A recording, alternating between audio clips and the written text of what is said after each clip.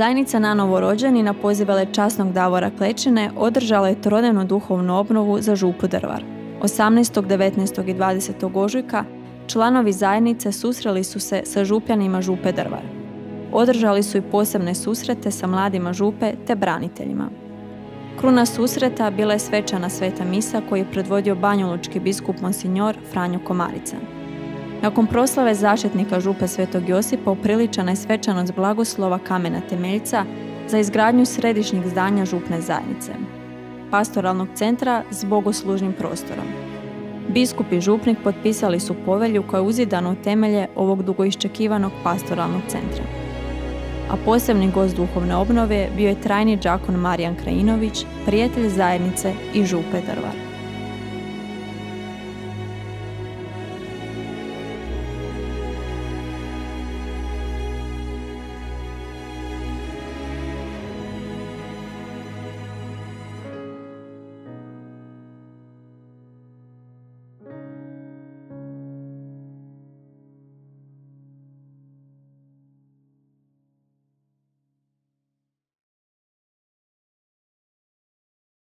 Hvala Nisu Marija, dragi gledatelji.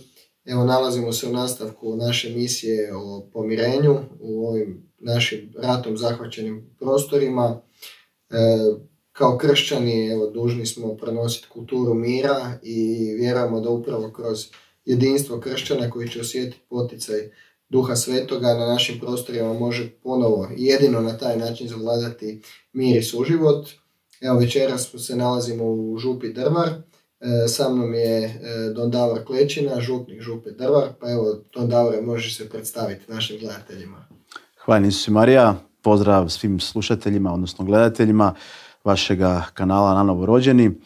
Ja sam Don Davor Klečina, župnik župe Svetog Josipa u Drvaru i upravitelj župe u Bosanskom Grahovu, zatim u Ključu, Bosanskom Petrovcu i Ugasloj župi Krnjeuša. To je jedno veliko područje koje obuhvaća nešto više od 3,5 tisuće četvornih kilometara, ali na tom području živi poprilično malo katoličkih vjernika. Ali ja sam tu već e, sedmu godinu, e, voljom i odlukom našeg banjališkog biskupa Franje Komarice i evo tu sam do Božje volje. Aha. Evo ovih dana je velik dan za tvoju župu. Mi smo došli kao zajednica na novorođeni u Drvaru upravo vodi trodnevnicu u oči važnog mhm. događaja, blagoslov kamena temeljca za pastoralni centar. Mhm. Konačno će e, katolici u Drvaru imati prilike e, vršiti svoje pastoralne dužnosti, bogoslužje, molitve u zapravo prostoru koji je koji bi bio dostojan za tako nešto. Mhm. Trenutno ste u, u Sokolskom domu koji prokišnjava, hladno je, izuzetno teški uvjeti. Pa evo, e, namučili ste se da bi došli do ovog trenutka. Ako možete ukratko našim gledateljima, nama u Hrvatskoj možda je teško e, uopće se uživiti u vašu situaciju i shvatiti šta znači to mhm. e, tako se krvavo boriti da bi dobili prostor za molitvu i duhovni život. Pa evo, kako je to izgledalo? Pa evo, da možda prvo malo krenemo u povijest. Župa Drvar je osnovana 1906. godine i e, prvotno sjedište je bilo u Bosanskom Petrovcu, zatim 20. godina prošlog stoljeća seli na Oštrelj i potom uoči, neposredno uoči prvog, drugog svjetskog rata sjedište župe biva premješteno ovdje u Drvar. Tada je u Drvaru živjelo e, katoličkih vjernika koji su tu došli jer je, tu su bile dobre prilike za život, tu ima jako puno šume, drvna industrija, zatim željeznica i e, jedna solidna katolička zajednica je živjela na čelu sa svojim župnikom do početka prvog drugog svjetskog rata 1941. godine, ali na to povijesno pitanje ćemo se vratiti malo kasnije, ako se slažeš. E, početkom drugog svjetskog rata ovdje praktički nestaje katoličke crkve i katolika i tu je jedna praznina od skoro 50 godina sve do 95. godine kada nakon svršetka ovog našeg domovinskog rata u Drvaru se naseljava velika skupina katolika iz svih dijelova Bosne i Hercegovine. Njih je u određenom trenutku bilo čak i preko 8000. Naravno da je tada ukazala se potreba za jednom redovitom pastoralnom skrbi i biskup Komarica 95. godine šalje svećenika e, da pastorizira katolike koji su se naselili ovdje u Drvaru. Od početka se ukazala potreba za prikladnim prostorom gdje bi katolici išli na svetu misu, gdje bi vršili ostale bogoštovne čine. Međutim, crkve ovdje nije bilo jer je stara crkva srušena 1949. godine naredbom komunističkih vlasti. E, tako da tadašnja općinska vlast e, u Drvaru, a tad je bila hrvatska vlast, Herceg Bosne, dodjeljuje zgradu nekadašnjeg Sokolskog doma, koja se u bivšoj Jugoslaviji zvala Društveni dom Partizan, na privremenu upotrebu do izgradnje nove crke sa, sa svim pratećim objektima. Međutim, to privremeno traje već više od 20 i i pet godina. E, taj e, objekt e, bivšeg Sokolskog doma je dosta neuvjetan, s vremenom je i propao i prokišnjava. Svaki put kad pada kiša mi jeli, premještamo kante po, po crkvi, kupimo jeli, tu kišu, tu vodu. Dosta je vlage, zaista je neuvjetno, hladno je, užasno je hladno, to ćete i sami vidjeti, uvjerite se. Tako da se zaista, evo, katolici imaju potrebu za jednim prikladnim objektom i ta borba za e, crkvu, za crkvom, jeli, za, za prikladnim objektom traje već 25 godina. Međutim, lokalne vlasti e, u međuvremenu su naravno povratkom srpskog stanovništva e, jeli, i vlasti postale srpske, nisu iskazale dovoljno sluha, nisu pokazale dovoljno sluha, nije suosjećanja s nama katolicima i na naše uporne molbe i zahtjeve da nam se dodijeli ili prikladna lokacija za gradnju nove crkve e, ili nekakav drugi objekat, e, općina je uporno odbijala naše molbe. Zašto je to tako, ja zaista ne znam. Ja pretpostavljam da, su to uglavnom nekakvi, e, pa prvenstveno ideološki razlozi, ali zatim i nekakvi politički razlozi, ne, razlozi nekakvo političarenje, političke trgovine. I ta borba, evo, traju biti sve do danas. Mi smo prije par dana dobili nakon trogodišnje borbe e, e, građevinsku dozvolu za izgradnju pastoralnog, e, pastoralnog centra, međutim to još uvijek nije dozvola za crkvu. Evo, mi ćemo i dalje nastaviti borbu da nam općina dodijeli dozvolu za crkvu jer smatramo da nema nikakvog razloga da katolici nemaju svoju crkvu, svoj vjerski objekat u jednoj državi, u jednoj europskoj državi koja je demokratska jeli, i u kojoj bi trebala biti zajamčena sva ljudska prava, a međutim ljudskim pravima i pravo na slobodu vjere. Bogu hvala, mi smo zadovoljni i ovim. E, taj plac koji smo prije tri godine kupili, na kojem je bio jedan objekat e, nekadašnje trgovine, mi planiramo rekonstruirati i dograditi i pretvoriti ga u višenamjenski centar, prvenstveno pastoralni, ali i za druge naše aktivnosti i duhovne, pastoralne, karitativne, kulturne. Jednostavno mjesto gdje bi katolici Hrvati drvara mogli se družiti i nalaziti. E, Zapravo je jako teško održavati ikakav duhovni život i pastoralni rad. Evo imamo priliku vidjeti sad je treći mjesec već na sredini, hladno je jako, znači veći dio godine je vrlo hladno. Ljudi ne mogu dugo jasno, biti u tom prostoru, tako da, da li očekujete možda i neki i duhovni procvat baš nakon izgradnje tog pastoralnog centra?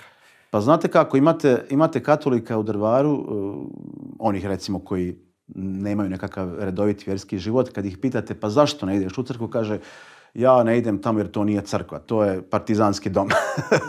Imate takvih izgovora, naravno to ne bi trebali biti izgovori, ali evo ima ljudi koji tako kažu ja tamo ne ulazim, to nije crkva, ja to ne doživljavam kao crkvu, to je dom partizana. Dobro, ajde, poštujem.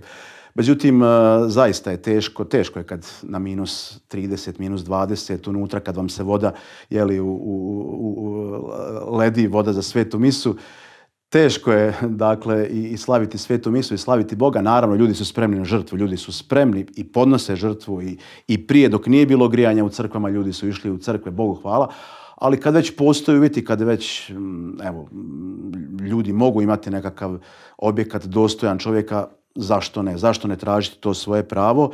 I ja smatram da će izgradnjom tog objekta se poboljšati i, i, i duhovni život e, u Drvaru i naš nekako društveni život i da će taj objekat biti na ponos ne samo nas katolika, nego na ponos svih građana. Na koncu taj jedan e, plac koji je sada zapušten, taj dio grada koji zaista evo, nabacan smećem i raznim otpadom, kad ga očistimo, kad napravimo taj objekat, to će doista biti jedan lijep kutak grada koji će biti na ponos ne samo nama katolicima, nego svim drvarčanima, pa i onim prolaznicima koji budu prolazili, jer crkva odnosno objekat je na vrlo lijepom mjestu pored magistralne ceste koja vodi za Livno.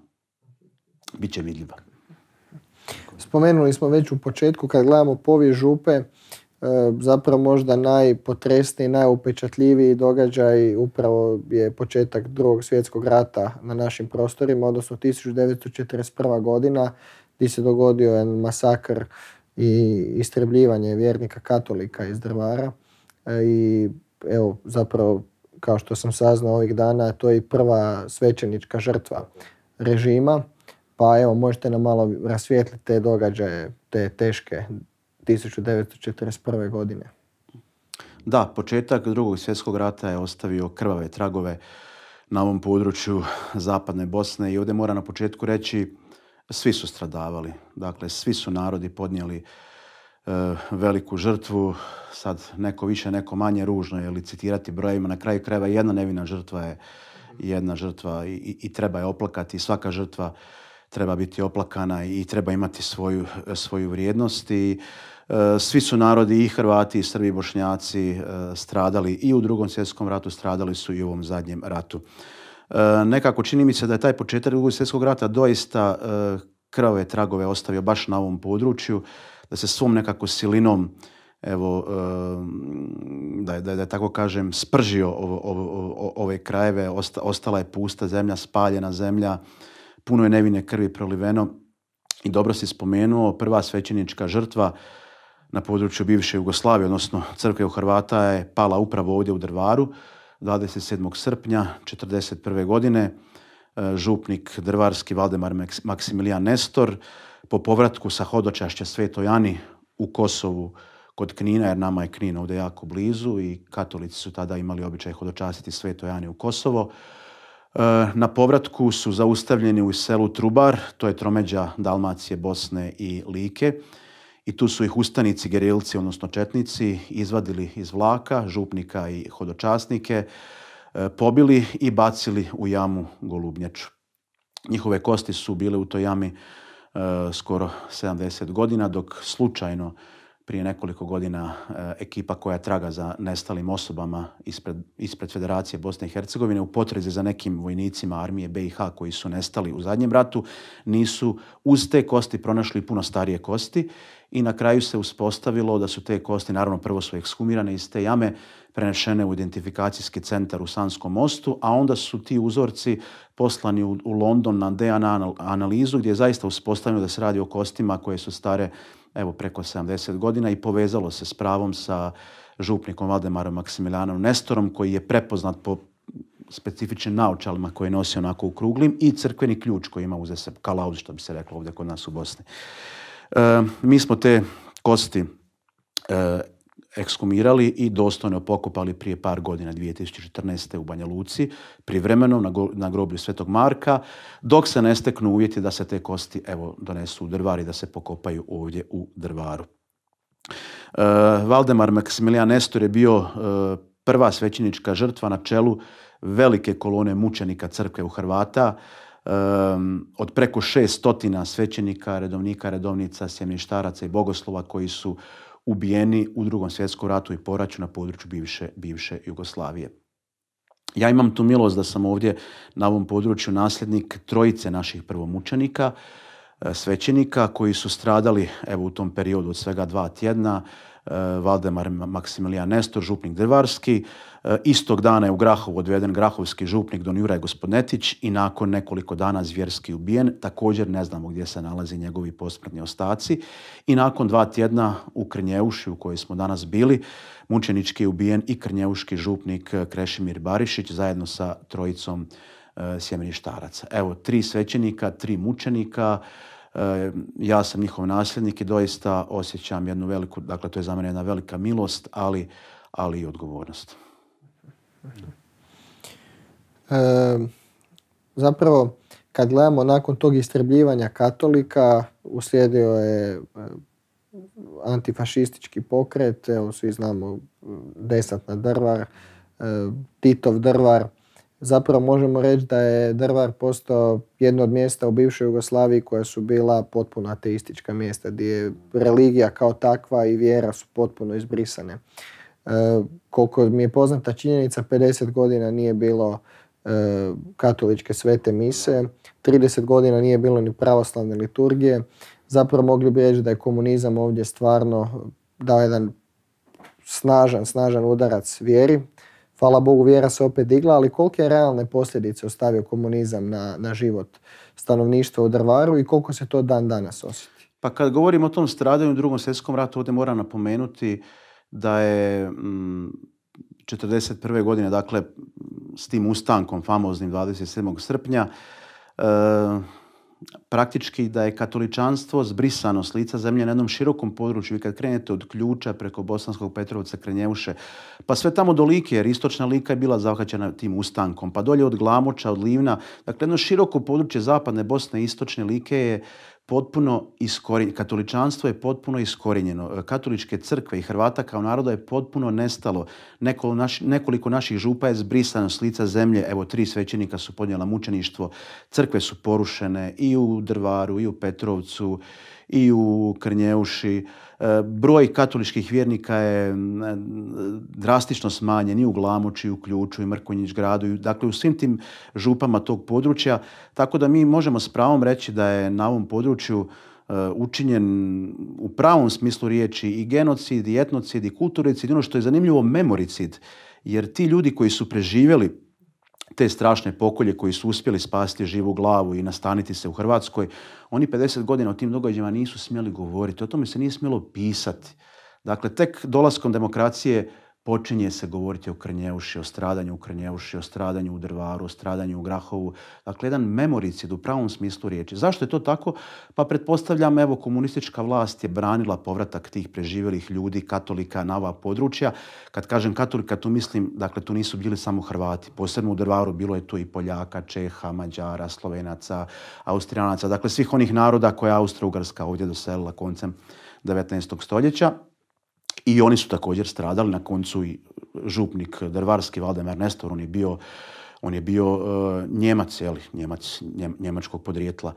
Ali, uh, dakle, taj memoricid uh, koji, je, koji, je, koji je nametnut od strane vlasti i strah da se o tome govori e, iz razloga što je, pretpostavljam, e, vlast se bojala ako bi ljudi počeli o tome pričati, onda bi pa, pala sjena na taj ustanak 27. srpnja koji ipak u bivšoj državi slavljen kao praznik 50 godina i u socijalističkoj Hrvatskoj i u socijalističkoj Bosni i Hercegovini. Međutim, vidimo da taj ustanak je, e, ja sad ne ulazim, povjesničari ne ulaze u motive tog ustanka, ali vidimo da, da su posljedice tog ustanka da je katoličke crkve i Hrvata nestalo, potpuno nestalo. Oni su iskorijenjeni sa ovog širokog područja zapadne da, Bosne govori se zapravo o antifašističkom ustanku, međutim vidimo da su žrtve uglavnom bili svećenici i župljani u civili.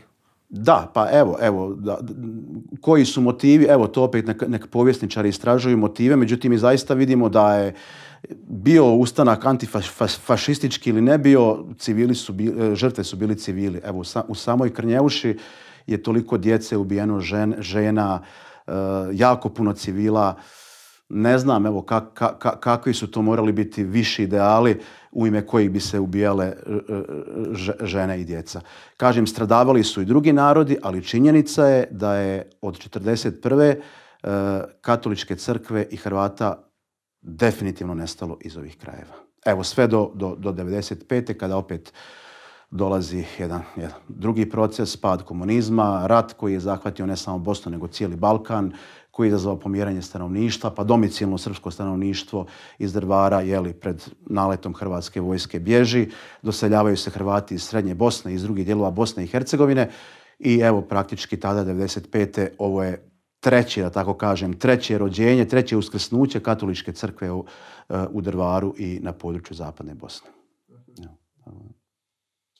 A možda ti si spomenuo i taj komunizam, da, to sam ovaj, zaboravio reći, a komunizam je doista ostavio e, tragove na život ovdašnjih ljudi, prvenstveno pravoslavnih Srba, jer ovi su krajevi, dakle, slovili kao antifašistički, partizanski krajevi i tu je komunistička ideologija bila podjednako neprijateljska prema općenito prema, prema religiji, preko, prema svakom vidu religioznosti Tako da i domicilno stanovništvo srpsko je malo pomalo evo zaboravljalo svoje korijene, svoje svoju tradiciju, običaje, svoju vjeru i po pričanju pravoslavnih svećenika koji su službovali ovdje prije ovog zadnjeg rata, bilo jako teško za, za, za pravoslavne svećenike. Evo, jedan pop koji je tu bio dugo godina, on je sam pričao biskupu Komarici da je godinama slavio liturgiju u pravoslavnoj crkvi, božićnu i uskršnu na liturgiji, on, žena i, dvije kćerke, nema nikoga od domaćeg stanovništva.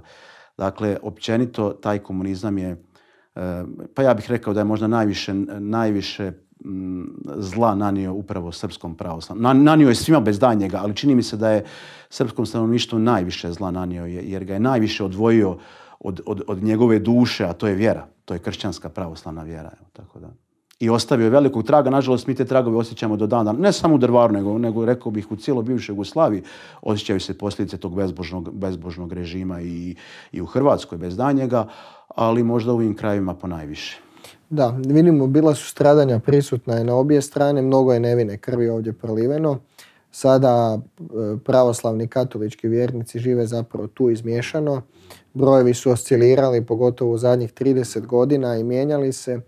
Da li zapravo sad iz ovog e, našeg današnjeg kuta gledanja možemo gledati to kao šansu za e, ekumenizam, odnosno za hod prema jedinstvu? Evo, spomenuo si mi da kad su Hrvati došli tu i poslije 95. pa kad je došao povratak tog srpskog domicilnog stanovništva, onda zapravo su na neki način Srbi e, koji su se vratili promatrali Hrvate katolike koji redovito nedjeljom idu na svetu misu i oni su počeli onda intenzivnije odlaziti na nedeljne liturgije.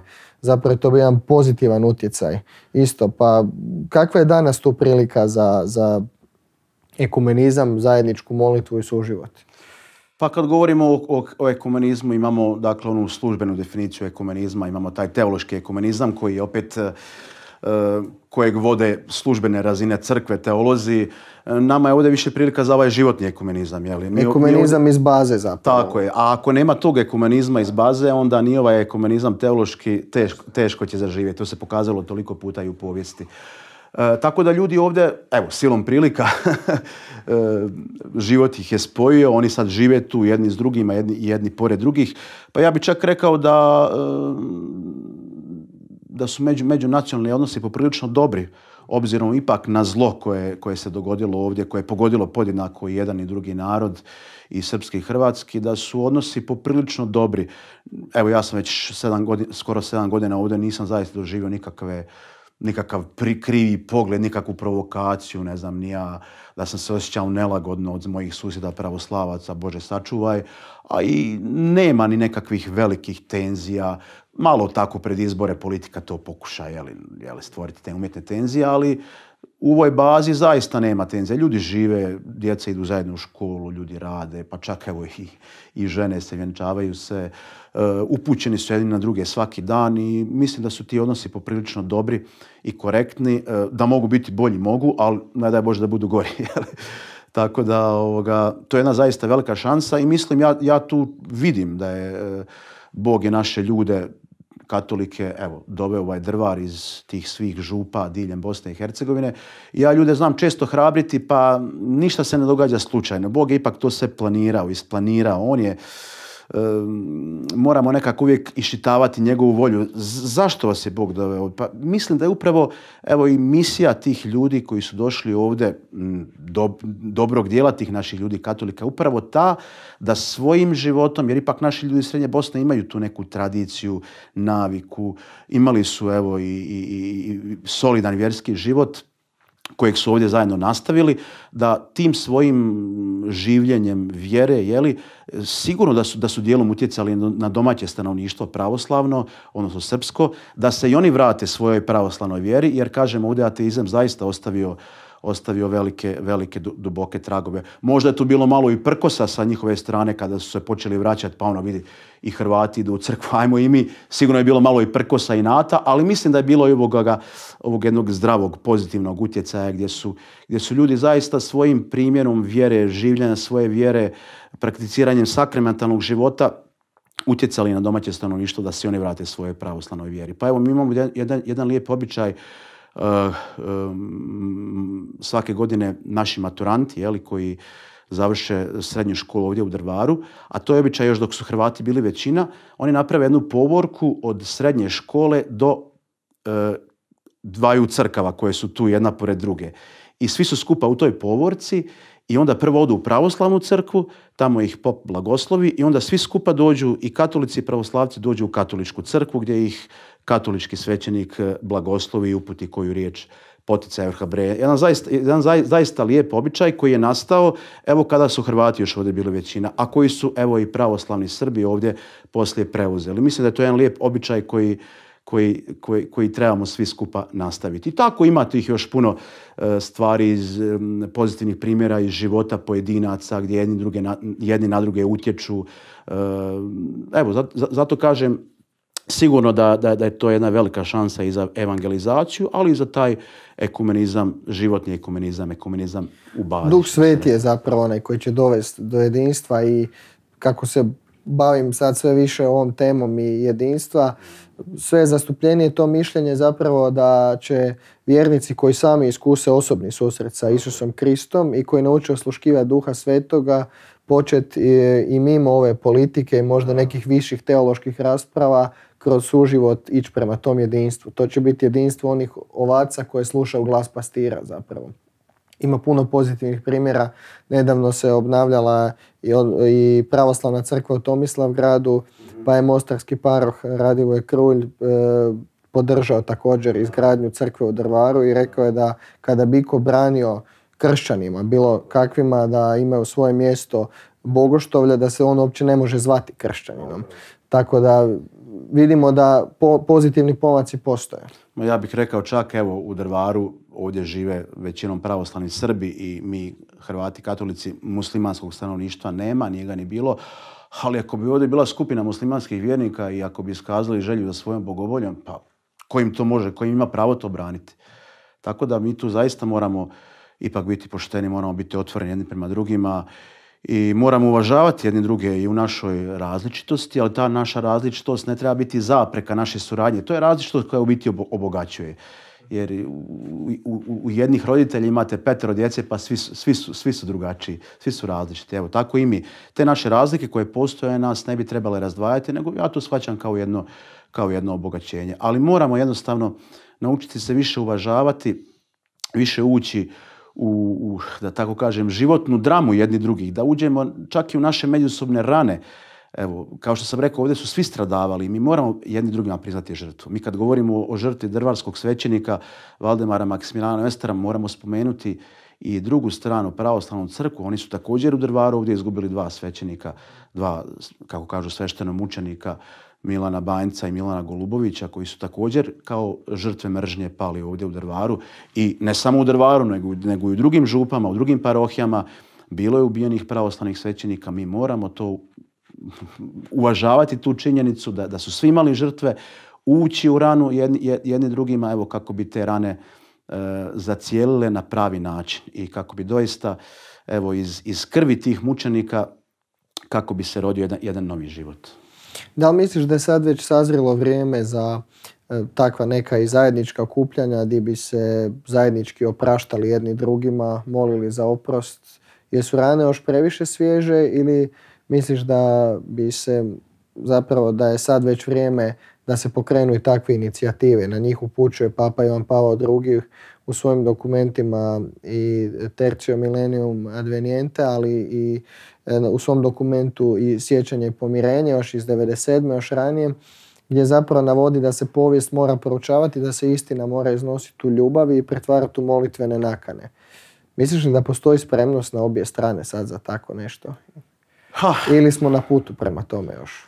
Pa ja mislim da smo još uvijek na putu, rane su, čini mi se još uvijek preduboke, još uvijek je velika sprega, nažalost, i politike, ideologije. E, tako da, e, možda kad ta, kad malo manja bude ta sprega ideologije, politike i vjerskih zajednica, možda ćemo imati više uspjeha na tom putu, ali što ne znači da se ne trebamo truditi. Da, naravno, kad to dođe ima puno predkoraka I, i zapravo Papa Ivan Pavao II naglašava da sve počinje od privatnih inicijativa vjernika koji osjete poziv na to. Papa Ivan Pavao II je nama pokazao, evo 2000. godine, godine velikog jubileja, evo kako bismo svi kao kršćani, kao katolici ili kao kršćani trebali činiti kad je napravio onaj veliki povijesni mea culpa, kada se ispriča u ime katolika, ime katoličke crkve za sve ono što nije bilo dobro, ono što, što je bilo zlo, što su katolici, ali kao pojedinci ili kao zajednica počinili prema drugima,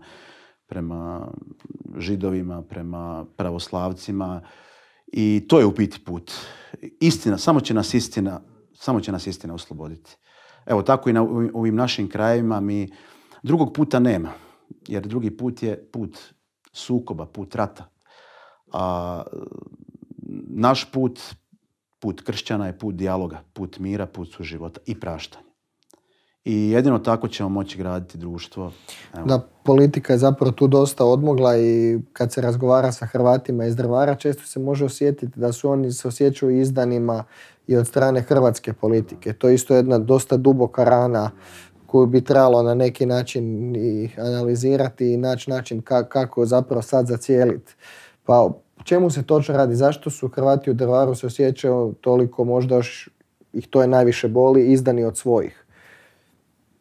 Da, to je dobro rekao. Tu su prisutne frustracije koje su vezane za prošlo, za, prošlo, za ovaj nedavni rat. Jer ti su Hrvati, kao što sam već rekao, došli iz različitih dijelova Bosne i Hercegovine. Oni su svi bili u ratu, borili su se. Mnogi su izgubili svoje, svoje kuće, ne mnogi, nego čak većina i njima je politika obećala, evo, dovela ih je, to je činjenica, politika ih je dovela u ove krajeve i obećala im tuđu imovinu i rekla im ovo je sad vaše. Međutim, kako tuđa imovina može biti tvoja? Nažalost, evo ljudi su možda dijelom na tu politiku nasjeli. Tu su, došli su, naravno, mnogi su trbuhom za kruhom došli. Međutim, privatna imovina tuđega ne može nikad postati tvoja i normalno kada su se e, Srbi počeli vraćati evo, tražili su svoju imovinu, povratak svojih kuća s pravom. Međutim, tu su Hrvati osjećali jednu drugu frustraciju koju je prouzrokovala međunarodna zajednica, jer međunarodna zajednica s jedne strane forsirajući povratak Srba u Drvar nije rješavala pitanje Hrvata Srednje Bosne, dakle da, da, ovima da ovim Hrvatima nađe alternativni smještaj. Tako da su ljudi doslovce završavali na ulici, nisu se mogli vratiti u svoj rodni kraj, u Vareš, Kakanj, ne znam, nija tamo Zavidoviće. I onda su preko noći ostajali na ulici i Evo. Je li to bila politika možda istrebljivanja Hrvata i od strane međunarodne zajednice? Pa svakako da međunarodna, međunarodna zajednica tu odigrala vrlo, vrlo jednu nečasnu ulogu, ja bih rekao. Dakle, s pravom, s pravom su htjeli provesti taj, odnosno implementirati tu točku Daytonskog sporazuma o povratku svih na svoje i započelo se s Drvarom. Dakle, Drvar i Stolac su bile prve dvije općine gdje se dogodio povratak lokalnog stanovništva, ali s druge strane nije se osigurao smještaj Hrvatima. I tako da su tu nastale frustracije. Ja kažem ne opravdavam i nažalost te 98. je došlo do velikih nemira kada su Hrvati ovdje u Drvaru zaista učinili ružne stvari prema povratničkom stanovništvu. Bilo je paljenja kuće, bilo je čak i ubojstava. Kažem, razumijem tu frustraciju, ali ne opravdavam. Nikako ne opravdavam te, te postupke i te čine. I onda, evo, hrvatska politika polako diže ruke od ovih Hrvata. Jednostavno ostavlja ih ovdje da se oni sami snalaze. Doslovce, evo, dovedeni su kao ovce, ostavljeni ovdje bez pastira. I do dan danas hrvatska politika i u BiH i u Hrvatskoj, ha, ne osjećam neku preveliku iskrenost. Međutim, s druge strane, ja vidim i kod domaćeg srpskog stanovništva i oni se također s pravom osjećaju izdani od svoje srpske politike. Tako da su Hrvati e, u Drvaru i Srbi u Drvaru dijele istu sudbinu. Osjećaju se ostavljenima od svojih. Ovi od svojih Banja Luke, ne znam, nija Beograda, iako ajde u zadnje vrijeme ima nešto pomoći iz Banja Luke iz Beograda, a Hrvati se osjećaju ostavljeni od Zagreba i od Mostara i od Livna i s pravom se rađaju, kažem, te, te, te, te frustracije. E, Evo, crkva je tu od 95. To, to, to je tužno u biti, to je stvarno jedna situacija iskorijenjenosti. Međutim, jel možemo e, možda tu vidjeti sad i priliku ako želimo gledati pozitivno, ako znamo da gospodin sve okreće na dobro onima koji ga ljube, zapravo Hrvati kad nisu našli oslonac ni u međunarodnoj zajednici, nažalost ni, ni u hrvatskoj politici, e, su se nastavljali okupljati najviše oko župe. Shvatili su da mogu biti oslonjeni na Boga blaženi kardinal Stepinac jednom prilikom rekao, e, onda kad se čini da je, da je sve gotovo, tu Bog tek počinje. I zapravo, da li to možda prilika i da li Hrvati ovdje doživljavaju zapravo crkvu kao jedinu koja je stvarno bila i ostala uz njih cijelo vrijeme? Pa mislim da je to istina. Dakle, crkva je jedina koja je od početka tu prisutna i do danas, evo, kroz cijeli taj niz godina, tu je bilo više župnika, svećenika, kapelana koji su se mijenjali. Evo, ja moram spomenuti našega prvog župnika, posljeratnoga uh, monsignora Kazimira Večatickoga koji je bio od 96. do 99. godine. On je premješten, premješten u Bosansku gradišku i on je 2004. godine ubijen u gradišci. Dakle, to je skoro, skoro, da, da, to je skoro uh, deset godina nakon svršetka rata. On je ubijen u Bosanskoj gradišci um, kao žrtva mržnje. Naravno, poslije se to malo pokušalo u drugu stranu opravdati kao da je nekako bilo ljublje, međutim, neću sad o tome, pozadina ipak malo drugačija.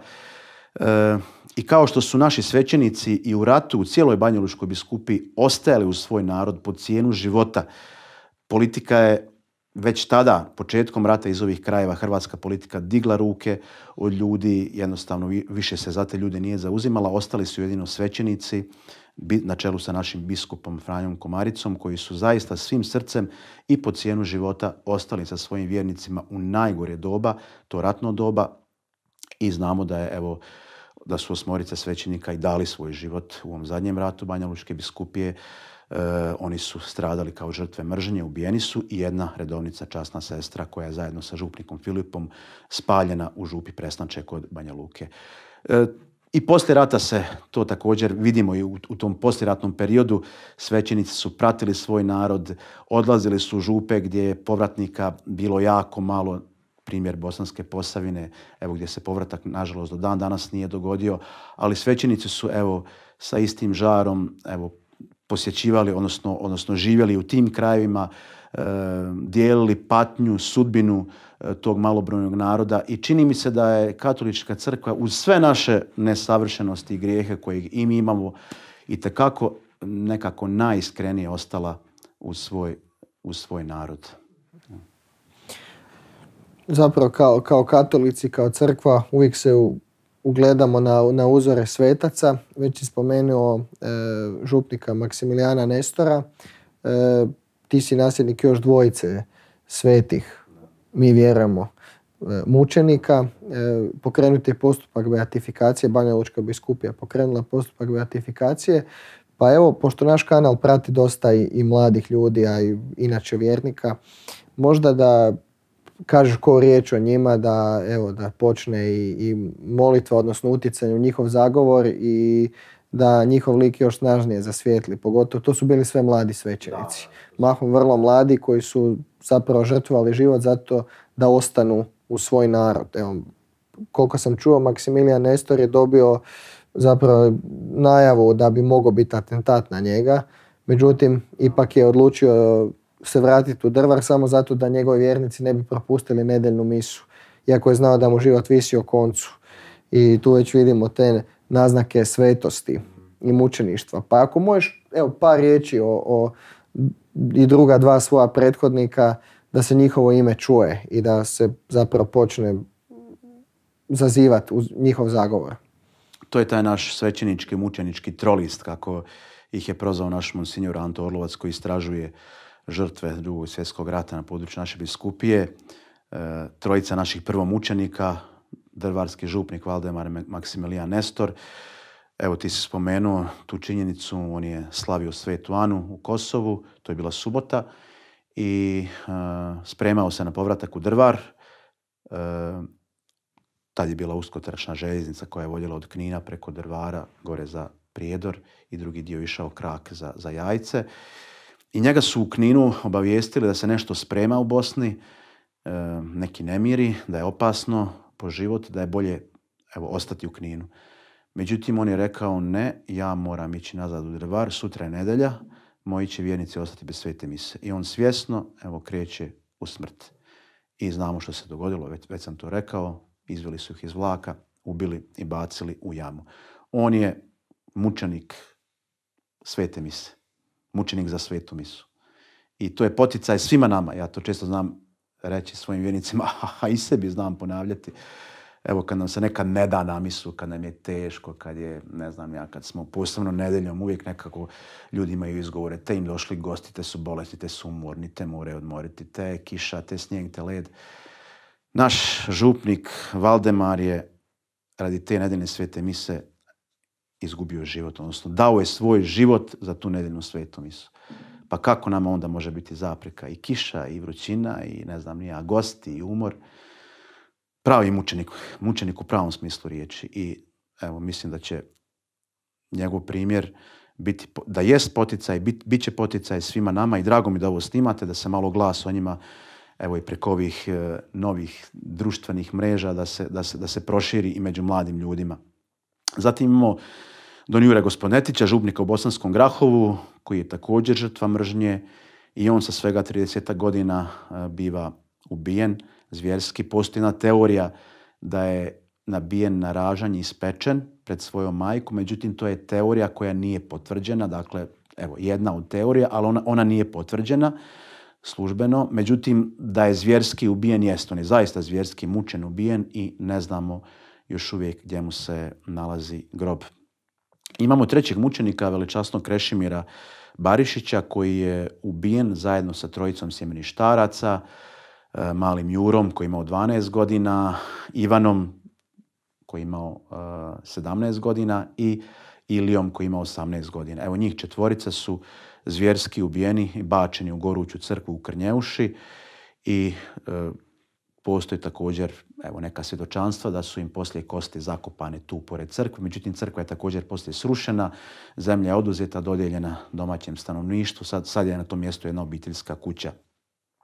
Za župnika Krešimira postoje svjedočanstva i pisana i usmena da je pomagao svima, da je zaista, budući da je Krnjevša bila jedno mješovito selo gdje je živjelo i pravoslavaca i katolika, on je zaista pomagao karitativno svim ljudima bez obzira na vjersku i nacionalnu pripadnost i svojim katolicima, ali i pravoslavcima. Ali evo, jednostavno mržnja je bila ta koja je koja se svom silinom evo, pokazala svoje zube, nažalost, i e, na, na, na mučeništvu našega župnika Krešimire Barišića. Tako da možemo s pravom reći da su oni mučenici svog zvanja u pravom smislu riječi. Imamo još jednog svećenika Antu Dujlovića koji je bio gore kod Prnjavura u župi Gumjera. On je stradao u 1942. godine, ali katolička, Banjalučka biskupija je za svu četvoricu e, dobila odobrenje Svete stolice da može pokrenuti postupak beatifikacije, međutim postupak još uvijek službeno nije pokrenut, a zbog nekih tehničkih jeli, problema, nedostatak i ljudstva i financija i, i čega već sve ne, ipak ti procesi zahtjevni su i financijski košta i zahtijevaju evo i, i dobru i logistiku i financijsku i naravno personal oskudjevamo u svemu tome, nadamo se nekim boljim vremenima kada ćemo zaista, kada će se steći uvjeti da onda i Banja, Luška biskupija službeno pokrene postupak za njihovu beatifikaciju, kako bi onda i sveopća crkva prepoznala kao mučenike, kako bi cijeloj crkvi evo, e, bljesnuli kao, kao, kao svijetli primjeri e, kao svijetli primjeri e, života, života, vjere i mučeništva. Evo, mi se utječemo u njihov zagovor i u ovoj trodnevnici koja je pred nama, posebno u subotu kad je blagoslov temeljnog kamena, ali zapravo još više i za nastavak života ovdje, jer blagoslov je blagoslov i hvala Bogu na tome, međutim duhovnost je nešto što se živi svaki dan i evo, nadamo se da će kroz ovu duhovnu obnovu se stvarno pali taj plamen duha svetoga u ovdašnjim vjernicima, da oni postanu jedno svjetlo. Kao što je ovo bilo mjesto poznato po otpadu od vjere, po ateizmu, po komunizmu, evo, nek se po zagovoru ove trojice mučenika ovdje upali svjetlo vjere. Ja se isto nadam, evo i baš kada smo biskup i ja razgovarali upravo o, o ovom velikom događaju, blagoslovu kamena temeljca za budući pastoralni centar, nekako smo rekli, pa dobro, sve je to lijepo, sve je to potrebno, potrebna je ta gradnja, je li, materijala. Međutim, ako samo stavimo naglasak na tome, ipak nije dobro. Šta će nam i crkve i, i župne kuće i pastoralni centri, šta će nam crkve od kamena od, ako nema žive crkve. I mi to vidimo na primjeru zapadne Europe koja je bogata i crkvama, prekrasnim crkvama, međutim te crkve zjape prazne, čak mnoge biskupije prodaju te crkve i te crkve se pretvaraju u, od restorana do, do noćnih klubova, nažalost. Evo, desakraliziraju se. I onda smo rekli, ako nema duhovne obnove, ako nema žive crkve, džabe nam to sve, hajmo, hajmo napraviti jednu duhovnu obnovu. Već smo mi to duže vremena planirali, međutim malo nas je i korona je u tome pomela. Ha, i sad je, evo, nekako vrijeme i ova pandemija ovaj, najenjava, ali evo, Bog je tako htio da, da vi dođete u drvar i naši ljudi zaista imaju velika očekivanja, gladni su, gladni su, doista su gladni i duha, gladni su vjere. Ova pandemija ostavila velike posljedice. Ja se bojim da će, da će puno veće psihičke i duhovne posljedice ostaviti na ljude nego što će sama jeli, korona e, napraviti štete e, ljudima i to ja zaista primijetim i po našim ljudima, ali, ali općenito ljudi su, se, ljudi su u velikom strahu, zatvorili su se u sebe, počinju se plašiti jedni drugih. Taj individualizam, zaista su to na koristi ovu koronu kako bi ljude usadio strah kako bi se ljudi počeli zatvarati u sami sebe, plašiti se jedni drugih i toga nas, toga nas straha nitko neće lišiti, niko nas neće izliječiti, niko nas neće osloboditi do Isus Krist. I bez njega, evo, bojim se da, da, u, da u bitku nećemo dobiti. Sama cjepiva i, i AstraZeneca i Pfizer, uz dužno poštovanje, ne kažem treba se cijepiti, ali e, cjepivo neće u ljude e, vratiti sigurnost, neće vratiti vjeru. Cjepivo neće odagnati strah. Jedini koji može uništiti taj strah je Isus Krist. Ja zaista ovdje vas vidim kao apostola Isusa Krista s jednom velikom misijom i ljudi vas doista s jednom velikom radošću dočekuju. S jednom velikom radošću i nadom i u ostalom sami ćete vidjeti. Sami ćete vidjeti. Ja se nadam da je ovo, da je, da je ovo jedan početak nečega puno ljepšega i da je ovo, da je u biti početak jedne misije e, koja će, e, jednog plamena koji će zahvatiti ne samo drvar, nego puno šire krajeve. I ne samo katolike, nego i naše susjede pravoslavce pa i drugi. Pa tako je, nalazimo se u vremenu napada na kršćanske vrijednosti i zapravo si ne možemo priuštiti taj luksus da mi kršćani čiji su neke vrijednosti koje su nam opće toliko snažno napadnute da budemo razjedinjeni. I nekako evo, daj Bože da prepoznaju i u, i u katoličkoj i u pravoslavnoj crkvi zapravo taj napad na vrednote koje su nam svima svete i da to bude poticaj da ih zajednički obranimo. Pa mi, evo, konkretno katolici i pravoslavci, mi imamo puno više zajedničkih stvari nego onih stvari koje nas razdvajaju. I moramo upravo se bazirati na tome, na, na, onome, što, na, što, na onome što nas povezuje, što, što nam je zajedničko. Naravno, razlike će uvijek ostati, razlike ne trebaju nas putavati, razlike obogaćuju, ali puno je više stvari koje nas povezuju i u vjeri i u svakodnevnom životu. I zašto, evo, ne bazirati se upravo oko tih stvari.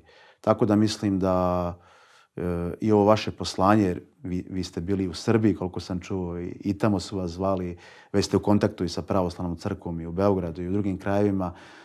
E, evo, ja imam velika očekivanja i od vašeg boravka ovdje da će taj plamen koji vidi, ono, plamen duha svetoga, tu silu duha svetoga, to pomazanje duha svetoga, da će zahvatiti ne samo katolike, nego i pravoslavce, na koncu, na koncu konaca, evo, svi vjerujemo u tog duha svetoga i tu, i tu silu duha svetoga i to pomazanje duha svetoga. Samo se treba otvoriti biti ponizan i otvoriti se djelovanjem Duha Svetog. Hvala ti, Don Davore, na, na tvojem svjedočanstvu i na informacijama koje si podijelio s nama, koje su toliko potrebne i, i mladima u Hrvatskoj koji zapravo puno toga nisu svjesni. Mnogi događaj potresni o kojima si govorio su se dogodili prije svega 70 godina. Nama se to često čini kao daleka prošlost u ovoj užurbanosti u kojoj živimo.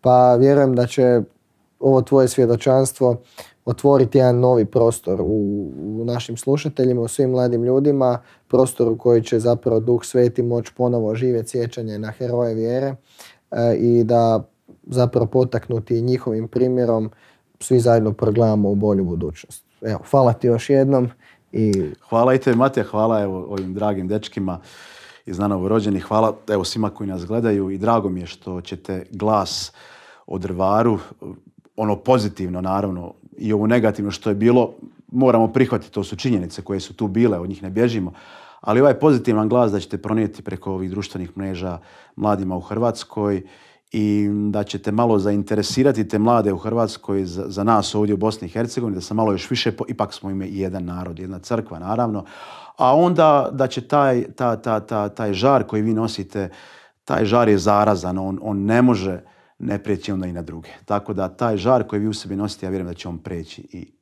na naše susjede. Hvala. Hvala. Dobrodošli u Krnjeušu na ovu vjetrometinu u pravom smislu riječi i geografski i klimatski. Evo u trećem smo mjesecu, kao da je 12. prvi mjesec i ovo je mjesto gdje doista pušu vjetrovi i gdje su puhali u prošlosti vjetrovi raznih ideologija koje su opustošile ovaj kraj, ovu župu, koja je osnovana 1892. godine i da je Bog dao drugačije, sada bi mi ovdje slavili, ne znam, nija 120 i koju sedmu, osmu obljetnicu osnutka župe. Međutim, ovdje od ove župe nije ostalo ništa. Odnosno, ostalo je samo ovo jedno groblje e, sa par nadgrobnih spomenika koje smo mi zatekli kada smo se prvi put pojavili ovdje 2014. godine, biskup Komarica i ja, i izmolili opijelo za pokojne župljane. I onda nakon toga, iduće godine 2015. po prvi put slavili svetu misu nakon 74 godine na ovom groblju. Kao što rekao, kod župe nije ostalo ništa. E, župna kuća, župna crkva su e, sravnjene sa zemljom. 41. E, godine nakon famoznog ustanka koji je izbio ovim krajevima 27. srpnja i zahvatio jedno široko područje zapadne Bosne. Tih dana e, je ubijeno preko 250 Hrvata, katolika, župljana ove župe, zajedno sa njihovim župnikom, pastirom, veličastnim Krešimirom Barišićem, čiju sliku vidite ovdje, koji je podnio mučeništvo sa, svojih, sa svoje 34 godine, zajedno sa preko 240 e, svojih župljana koji su tih dana na zvjerski način ubijeni. Oni koji nisu ubijeni, koji su spasili živu glavu, pobjegli su, nastanili se diljem Republike Hrvatske i nikada se više nisu mogli vratiti na, svoj, na svoje ognjišta u svoj rodni kraj, jer im je tadašnja komunistička jugoslavenska vlast to priječila kako ne bi pala sjena na 27. srpnja koji se 50 godina slavi u Hrvatskoj i Bosni i Hercegovini kao dan ustanka. Kao što rekoh, župnik Krešimir je ubijen E, mučenički ubijen, zvjerski mučen sa trojicom sjemeništaraca koji su tih dana boravili kod njega.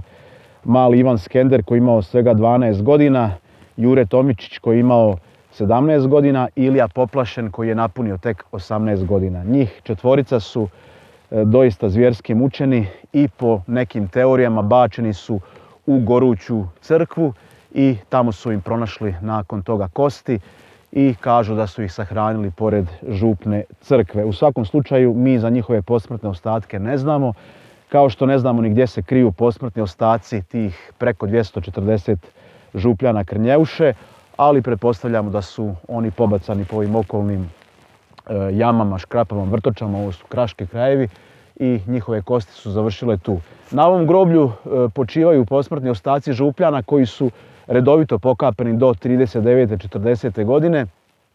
Međutim, ni ovo groblje, nažalost, e,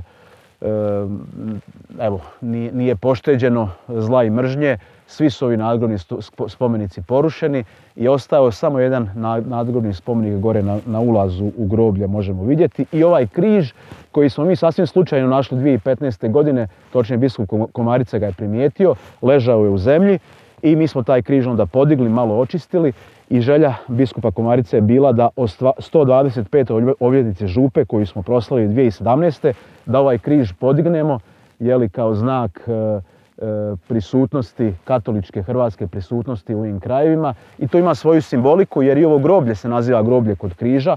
Pretpostavljamo da je taj križ, evo, da je groblje dobilo ime po tom križu, možda jest, možda nije, ne znamo, ali svakako ima svoju simboliku i ima onu duhovnu simboliku, duhovnog značenja, jeli, uzvišenja Svetog križa. Taj križ mi doista, Bog je po nama uzvisio i on sad stoji ovdje kao jedan, jedno mjesto e, koje poziva na, na molitvu, ali i na razmišljanje.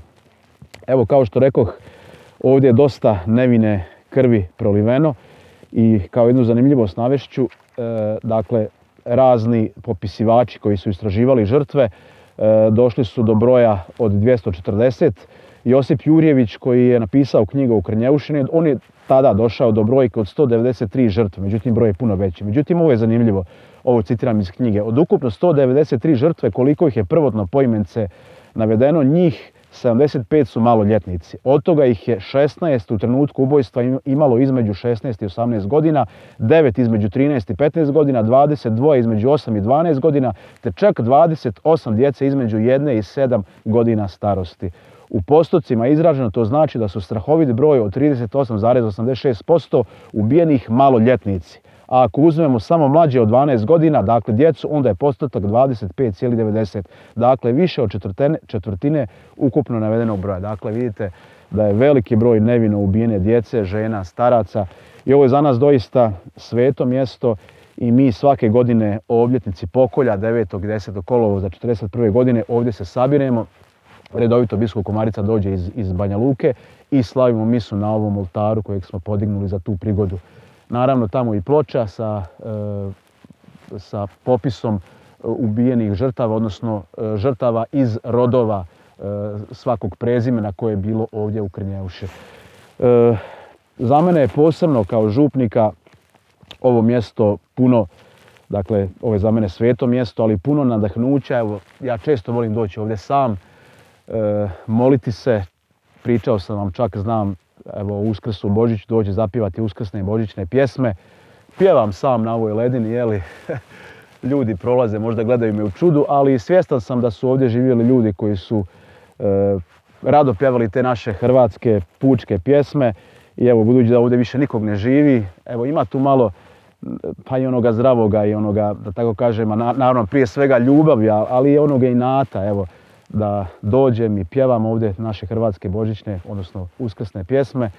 E, združim se u duhu molitvi sa svim pobijenim župljanima, e, molim se za njih, e, oni su naši mučenici definitivno i evo katolička crkva, odnosno Banja Lučka biskupa je pokrenula proces beatifikacije za četvoricu ubijenih svećenika koji su ubijeni na početku drugog svjetskog rata, među kojima je i župnik Krešimir Barišić. Ovo su naši mučenici, mi prema mučenicima imamo, evo, naša je sveta dužnost da, e, da se molimo naravno za njih i da, evo, što je e, u našoj moći, kako je rekao Sveti Pava, Papa Ivan Pavo II o velikom jubileju 2000. godine, da čuvamo spomena naše mučenike. Na nama je, evo, da širimo e, i kult, da, da, da, da se o njima sve više priča, da naš narod upoznaje svoje mučenike, jer nažalost za vrijeme Jugoslavije ovom mjestu se nije smjelo govoriti. Komunistička vlast je branila da se uopće priča, da se piše o ovom mjestu i evo pa čak i ovih zadnjih 30 godina nakon dolaska demokracije još uvijek se nekako stidljivo o tome govori u Hrvatskoj kad pitate za Krnjeušu, malo ko će vam znati, malo ko će vam reći za Krnjeušu, a ovo je naše sveto mjesto i mislim da mi kao narod moramo upoznavati mjesta stradanja naših mučenika, dolaziti, moliti se i ja vjerujem da, da će ovo mjesto u budućnosti biti mjesto velikih i milosti i ja u budućnosti vidim ovdje jedno svetište gdje će ljudi dolaziti, gdje, će, gdje ćemo se moliti, mjesto molitve, mira i pomirenja, a to nam je i tekako potrebno na poseban način ovim mučeničkim krajevima gdje je i previše nedužne krvi proliveno u prošlim ratovima na poseban način u drugom svjetskom ratu i u ovom zadnjem ratu. Pa ako nemate ništa protiv, ja bih sada da se pomolimo, da se evo, izmolimo jednu molitvu za župnika Krešimira i sve nevine žrtve, a onda možemo svi skupa zapjevati i jednu pjesmu. U ime Oca i Sina i Duha Svetog, Amen. Oče naš koji jesi na nebesima, sveti se ime Tvoje, dođi kraljevstvo Tvoje, budi volja Tvoja kako na nebu, tako i na zemlji.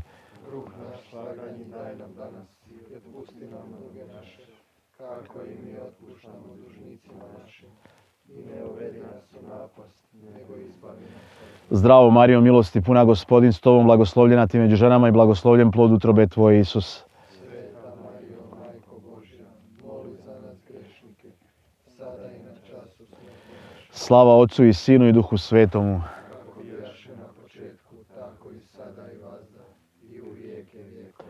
Pokojnom je župniku Krešimiru i svim nevinim žrtvama za čije grobove ne znamo, a i za one koji počivaju na ovom groblju, pokoj vječni, daruj im gospodine. Počivali u miru Božijem. Amen. Evo možemo jednu pjesmu zapjevati.